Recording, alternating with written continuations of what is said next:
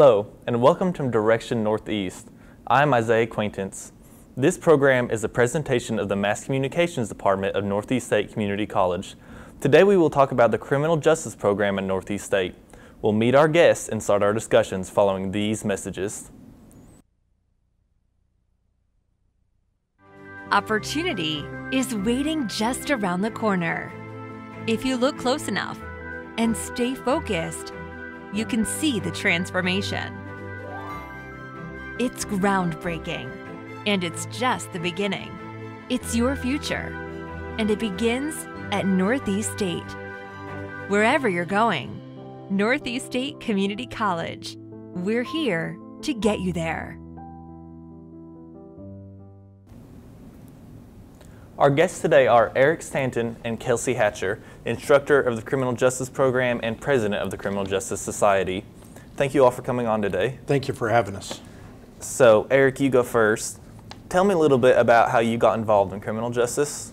Sure. Well, I was blessed starting in the early 90s with being able to go work for the Washington County Sheriff's Office. Worked there for a number of years, followed by working at East Tennessee State University, and then going back again to the Washington County Sheriff's Office. And then I was blessed in 2010 with being able to start to come out here to Northeast State and teach. And Kelsi, why did you decide to pursue a career in criminal justice? Um, ever since I was young, I always just wanted to serve, and I couldn't think of any better way than in law enforcement, so I decided to major in criminal justice.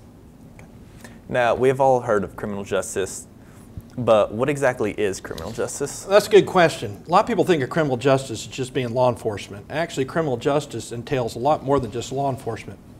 It entails, of course, law enforcement, corrections, the courts, and probation and parole.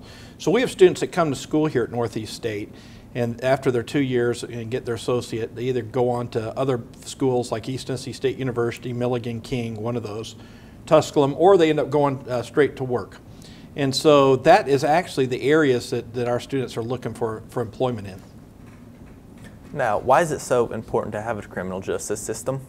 It is very important to have, and you know, we talked about this on an earlier episode, but the criminal justice system as a whole is really the foundation that this, this country is built on, if you think. You know, our job in the criminal justice system is to support and defend the Constitution of the United States of America against all enemies, foreign and domestic. And so we are the foundation because, like we talked about before, if you didn't have a criminal justice system, a system that's working together, a system that really came about in the 1950s and 60s, instead of having all these entities working separately, working together. So from the initial call, investigation, to the arrest, to confinement, to adjudication in the courts, all the way through probation and parole. If we didn't have that system, we would have anarchy and stuff of that nature. I, I, we talked about the purge before. We talked about uh, old movies like Mad Max, where there is no law enforcement element or criminal justice system. And it's very important because, again, it's the foundation that allows us to, to, quite frankly, sit here and have this chat today. Because if outside our studio right now the purge was going on or something of that nature, we wouldn't have time to come in here and produce this program if we had folks that were right now outside the door trying to get in here to do harm to us. So a lot of folks don't really realize the importance of the system. They do at 3 in the morning when they call and initiate the system as I say, plumbers are very important. Uh, you know, electricians are very important. But who are you going to call at three in the morning when you have an emergency? You know, is it going to be your plumber? Is it going to be your electrician? Well, if it's not a plumbing matter, electrician, you're going to call 911. And so those are the folks that are going to come out. So again, it's it's the foundation that really supports and defends our Constitution in this country, and again allows us the freedom to be able to do what we're doing today. What degrees are offered at Northeast State regarding criminal justice? We have two. We have the AAS in Criminal Justice, which is the Associates of Applied Science. We also have the Associates of Science or Associates of Art in Criminal Justice. A little different in the, in the two, and I'll explain that here real quickly. With the AAS degree, the Associates of Applied Science, the students come in. That degree is made for it's what we call a terminal degree, where they'll do their two years here at Northeast. Then they'll go on to work, as we talked about, either in law enforcement, corrections, probation and parole, the courts, etc. And so the way, reason why it's designed that way is, again, just so they're ready to go ahead and, and get out there and, and get going, and they don't necessarily, you know, finish up bachelor's degrees. With that being said, they have 12 criminal justice classes that they take, so it's really criminal justice focused. They're taking everything from intro to criminal justice, intro to legal process, homeland security, issues and ethics, criminal law, criminal investigations, just to name a few. On the other side of the coin is our Associates of Science or Associates of Arts. That's for students that are wanting to go on to four-year institutions like East Tennessee State University, Milligan College, uh, any of those, Tusculum University, any of those, or King University, any of those that somebody might want to go to. The difference is those students only receive four criminal justice classes. They receive Intro to Criminal Justice, Intro to Legal Process, Intro to Corrections, Intro to Law Enforcement. The rest of their classes are made up what we call college prep courses. So it's your humanities, it's your arts, it's your uh, literature, it's your, stu- your sciences, stuff of that nature, to where they're ready to transfer. Again, the idea being is we're just giving them a taste of it at this level, and then they can major it at the four year institution. That's why they only have the four classes at this level. So, again, it's really what our students are looking for. Right now, we're kind of balanced. We actually have more AAS students than we do AS students. So right now we have more students like Kelsi that are wanting to go to work once they get their degrees. Uh, however, you know, especially nowadays, as we talked about on other episodes about society and criminal justice, the system itself requiring folks to be smarter, there's a lot of agencies now that are requiring bachelor's degrees or some even higher. So it, it is, we do have some students that are wanting to go on and pursue those things, but we're very proud of both our programs. We've been growing. We've been growing substantially for the last few years. We got uh, great partners on board with us. Uh, we got uh, great students. And so we're just really excited about the, the destinations and places yet to come. Now, Kelsi, you're the president of the Criminal Justice Society. Tell me a little bit about what you all do in that program. Um, so we have weekly guest speakers. So yesterday we had um, Sergeant Lowe, of the Johnson City Police Department. They had hostage negotiation, but we have guest speakers from different areas of criminal justice just to for our students that have interest. We also do community service and we also go on tours of like jails and other things like that. But we just like to, you know, make it really outgoing so everybody can get to know the um, places they could work in the future whatnot. Now, Eric, can you tell me a little bit about how this Criminal Justice Society relates to the classes regarding criminal justice? Absolutely. It absolutely relates to it because it gives us the opportunity to get away from the curriculum to bring in our hiring partners and our partners that have been so good to us because as you know we've discussed off camera before there's a huge shortage of folks uh, right now in criminal justice as a whole across the spectrum. I mean right now at northeast correctional facility tennessee department of correction there's only over 70 openings right now up, up in uh, mountain city at that facility. So there is a huge need for trained professionals to, to step into these roles and so it is very important because what the Criminal Justice Society allows us to do is several things. One is I am very big on servant leadership.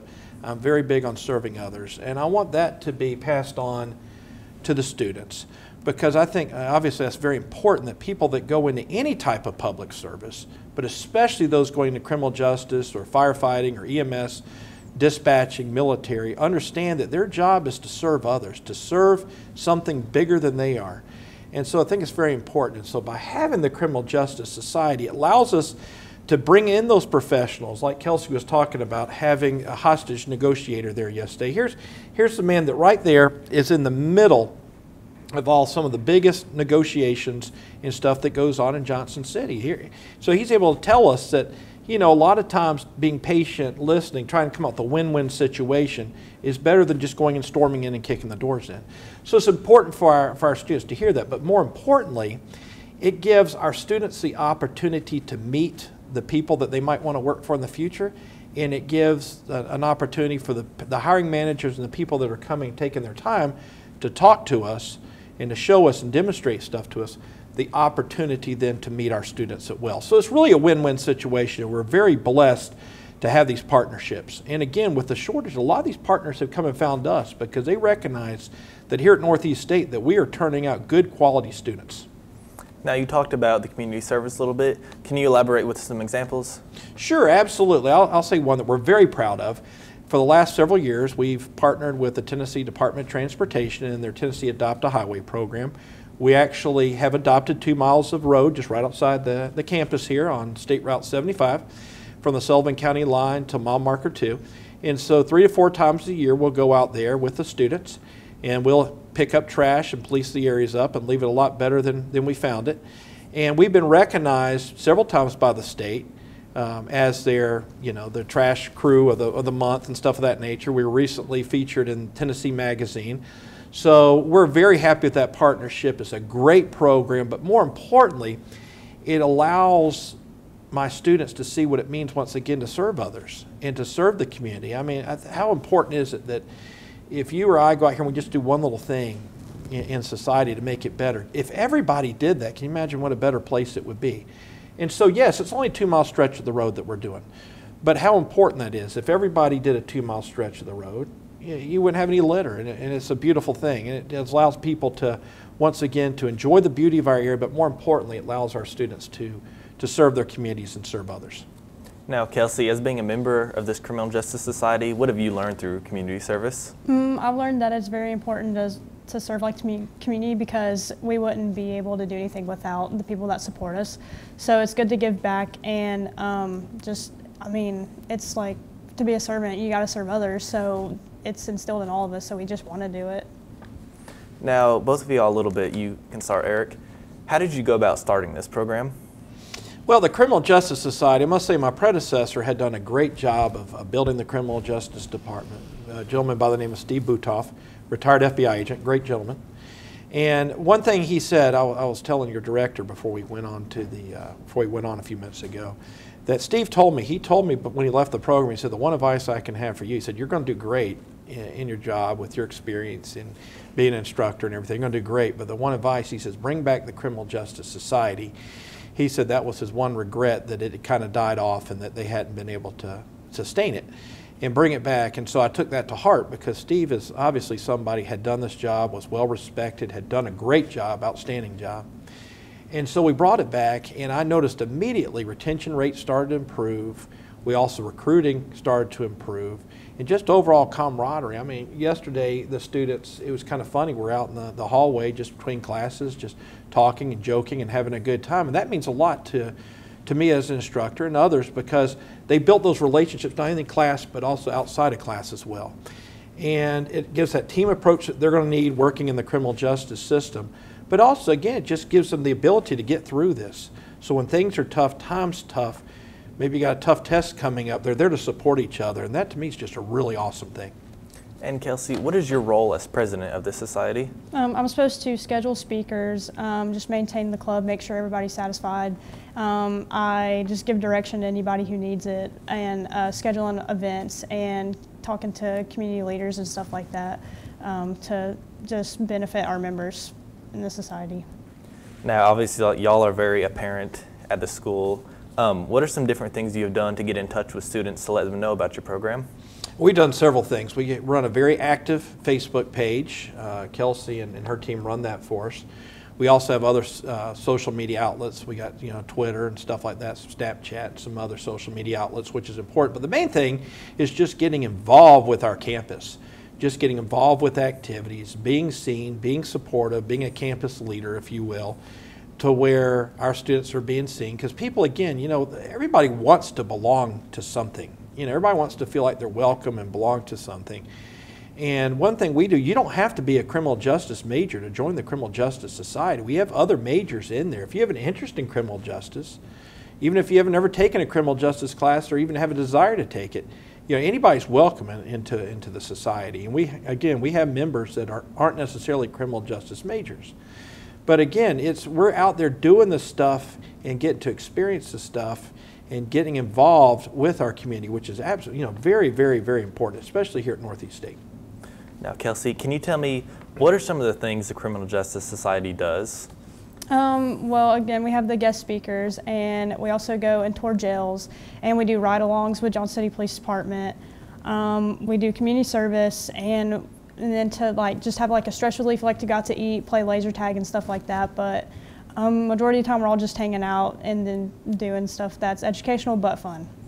And what types of people would you say should consider joining this club? I mean, anybody can join, but the people we like the most are the ones that are really serious about wanting to get a future career, the ones that are driven, focused, um, type A personalities. We call ourselves the alphas, but um, just anybody that's like serious about going into criminal justice and wanting a career. And can you tell me about any former or current members who you're particularly proud of for the successes they've had after they moved on from the program or even during the program? A- absolutely. Two in particular that I'll talk about real quick. One a non-traditional, one a traditional. Our non-traditional students, a young lady by the name of Jessica Sweet Claudio, who's an Air Force veteran. Her husband's actually a local recruiter with the Air Force. And about a week before she graduated last year, one of the partnerships that we had formed with, with the local probation and parole agency, and they had remembered Jessica and so forth. They knew what type of students we had. So this is literally timeline basically is the way it happened. Got a call on a Tuesday or Wednesday the week before graduation from this probation and parole company asking if we had any students to fill a position immediately. Uh, I immediately called Jessica because she had expressed an interest in it. She filled out her application on Thursday, had her first interview uh, Friday, had her second interview on Monday, uh, graduated Tuesday, and basically went to work on Wednesday. And of course, is still there doing great things, loving the job. And again, that has to do with the partnerships that we formed, but more importantly, it just shows the quality of student that we have here at Northeast State that we're turning out to where we actually have folks coming to us asking us for graduates. And that means a lot, especially in this economy. It means a lot. Another one I think of is a young man by the name of Nick Rambo. And he went to school here. And, and Nick had some adversity in his life and basically overcame all of it. And he ended up going to work for Kingsport Police Department as a policeman over there.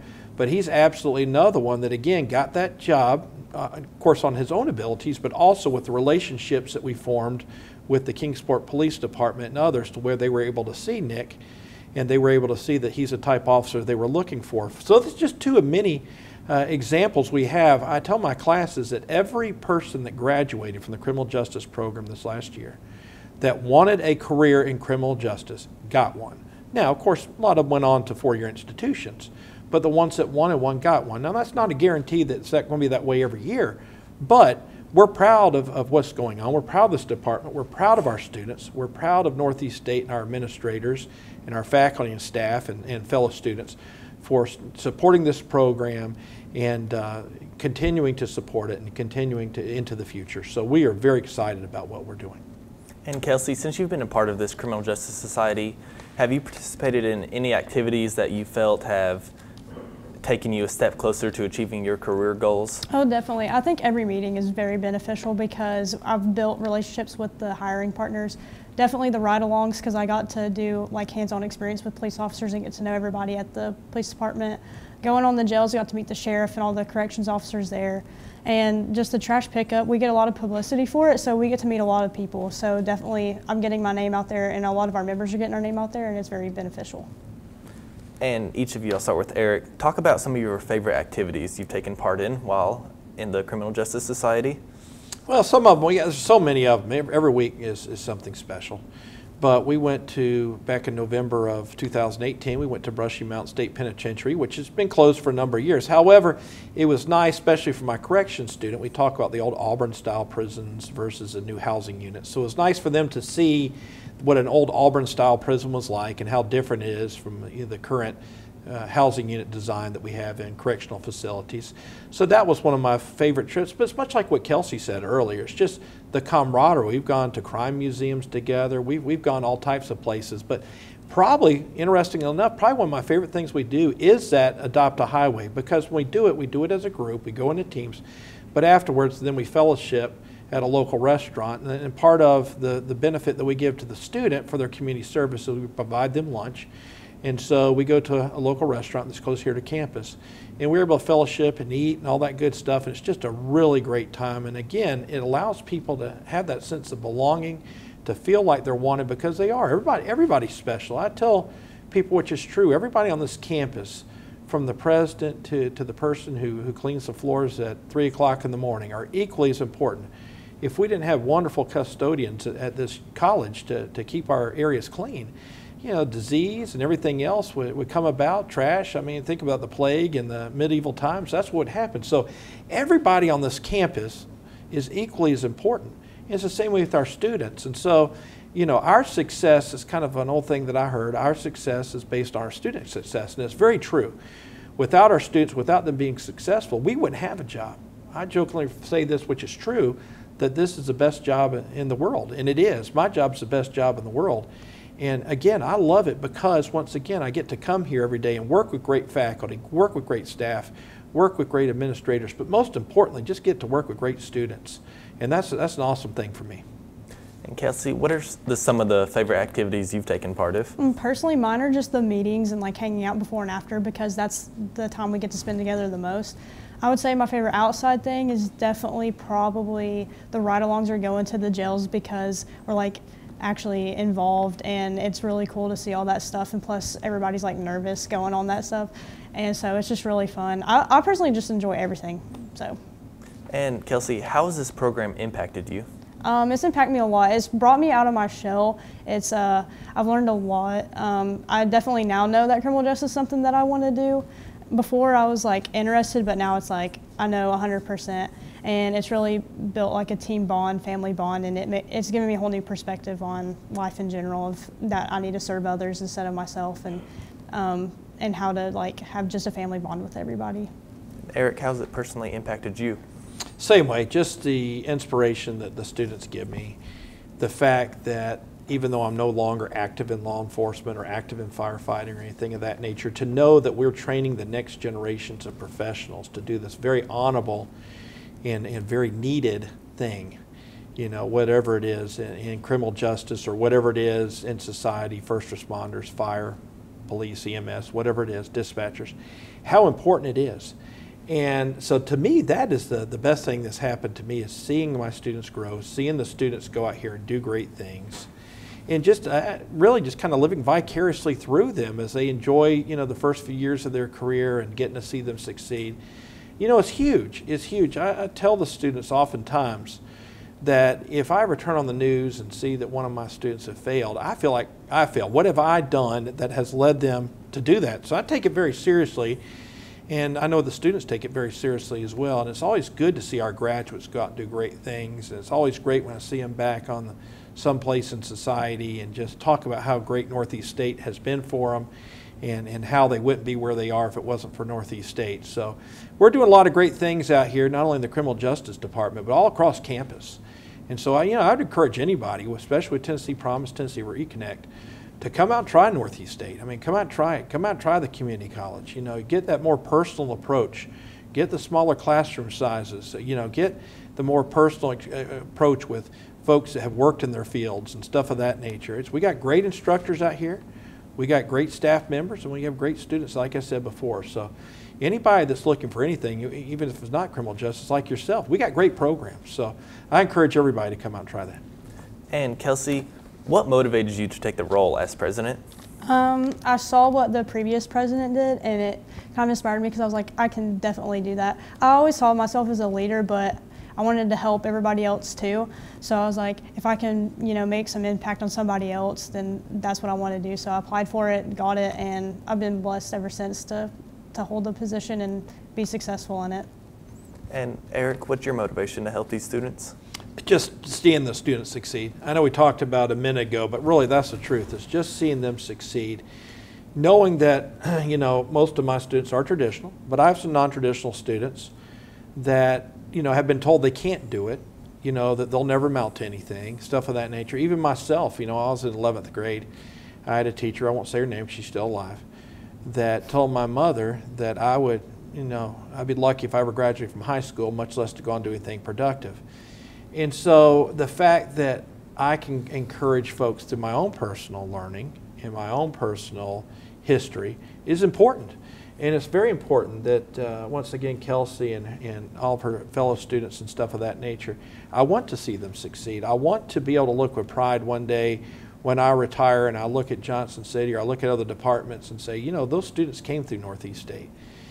And uh, again, one of our local partners was telling us just this week that they've decided now just to focus on Northeast State, targeting uh, our students for employment because once again, they've recognized the importance of our students. They see what we're doing. We have an advisory board that meets once a year that consists of a lot of law enforcement agencies and, and correctional agencies and probation and parole and the courts, all the elements in there, that guide us in what they're looking for. And so we're very responsive at this school to be able to meet their needs. And as a result of meeting their needs, we're able to develop the workforce and we're able to supply them with the leaders for tomorrow. And Kelsi, tell me a little bit about some of the other students in positions of power within the Criminal Justice Society. Okay, so we have Abby, who's our vice president. She's in charge of the social media, and she's actually going into social work, and she'd be a really good social work. She's have she's actually getting like three degrees from here. I think she's a triple major. And then we have Cameron Campbell. She's our secretary, and she wants to be a K-9 officer with uh, Johnson City. And then we have Bob Whitfield, and he's our treasurer, and he wants to do TBI, and he wants to go federal. And uh, Cameron's in the AAS, and Abby and Bob are transferring to ETSU, I believe. And Eric, I'll start with you. What is the main thing you hope students take away from this program after having been a part of it? Quite simply, that they're in service to others, servant leadership, and to never forget that they are the foundation that this country is built on. Like mentioned in a previous episode, our Constitution, as beautiful as it is, you know, the seven articles of the Constitution and, and the amendments, as beautiful as it is, it's just ink on paper. And it takes somebody to enforce those laws that our lawmakers create and that our founding fathers made. And so it's very important for them to realize that this is a very important job, very important job, and that the, the time of their life where they feel that, that they can no longer put the utmost attention into this, they need to walk away. So again, just the importance of it, the importance of serving others, the importance of being a servant leader, and respecting the rights of others. I mean, just understanding that just because somebody doesn't look like you or talk like you or act like you, you know, we're all in this together. So, you know, you're there to, to protect everybody. So any personal biases you have, you need to leave them at home, you know, and then not bring them out and not let, you know, you got to support everybody. And so that's very important. So I make sure they understand that. And I make sure they understand over and over again, again, what an important role this is in ethics. And you have to be ethical at all times because the minute you're, you're seen as not ethical, you're done. And that's very important. So. Thank you very much. Thank you to both of you for coming on today, coming on today, and we will be back in just a moment to wrap up Direction Northeast.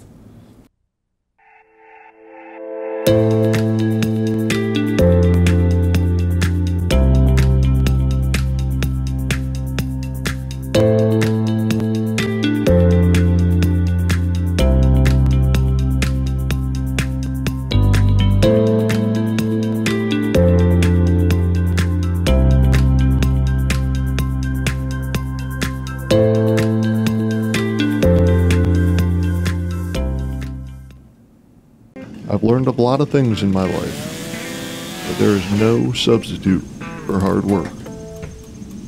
If you've got the will and determination, doors will always continue to open. Life puts us in the driver's seat. Where we go and what we accomplish is up to us. What's that old saying? When the going gets tough, the tough get going. That concludes the program for today. We talked with Eric Stanton, criminal justice instructor at Northeast State, and Kelsi Hatcher, examined the criminal justice program at Northeast State. Community is very important to the students at Northeast State Community College, and this program takes a look at a few of the subjects they find important. Until next time we meet, on behalf of the students, staff, and faculty of Northeast State Community College, I'm Isaiah Acquaintance, and this is Direction Northeast.